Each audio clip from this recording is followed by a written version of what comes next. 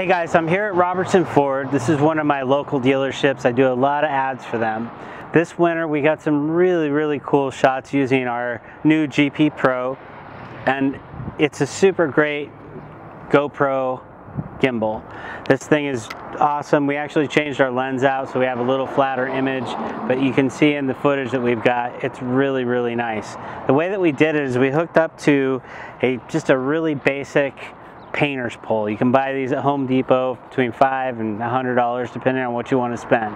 So this is a clamp that we have available on our website and it's toolless so you basically can just clamp onto one side of the gimbal and then you clamp onto the other side onto the pole and then you're good to go. You've got a extension pole. So now you can get some really nice crane shots. It actually will help to smooth out some walking shots so you can see as my body's moving, the camera will stay really steady. And uh, it's, it's a really great way to get some dynamic shots. We were hanging out of the top of the sunroof and we were like getting some really cool shots down low to the tire. We were like extending the pole up as high as we could and try to get some really cool crane shots to make it look like we had a really tall crane. And I'm gonna show you some of those shots right now.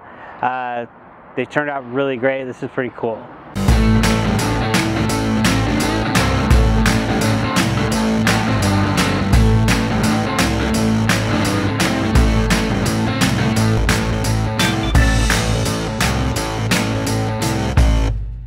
The way that we did it was with this clamp and the extension pole and then we had this wired fob here that actually will plug right into the side of the gimbal and control the tilt and function mode of the camera.